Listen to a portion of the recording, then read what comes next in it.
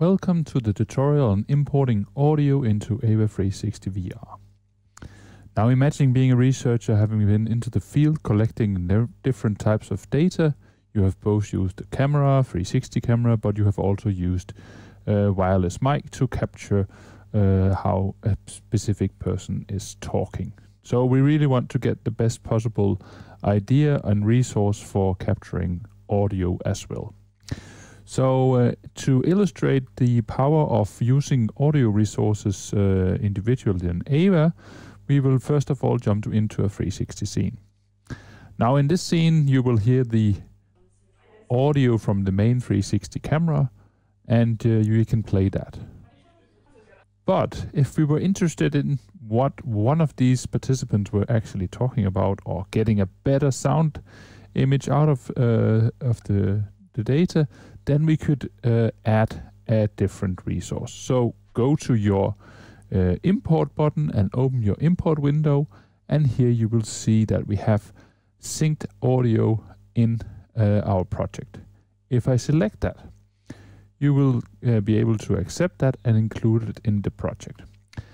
Now, this uh, audio is linked and synced with the main 360 scene, so they will be playing together if we play the overall scene.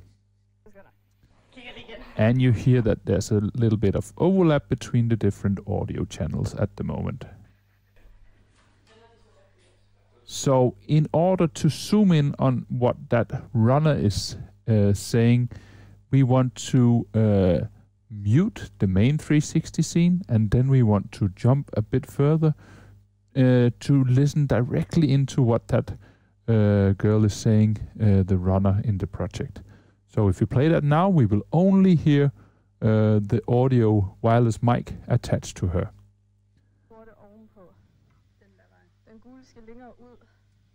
So we have very good audio quality of her. Now if I play it together, you will you will again hear the overlap. So we will just continue muting that. So the audio can be played along with the 360 scene, but we can also play the audio individually. So if I just point into the speaker here and hit uh, play, now we will only hear the audio. So if you want to listen into specific phenomena, it's a very good idea to uh, import external microphones in your project so you are able to listen on a very specific detail uh, on what is being said.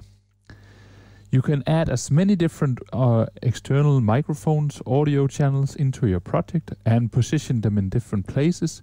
You can even animate them to, to pop up in certain places. For specific instruction on how to animate audio resources, go to the animation tutorial.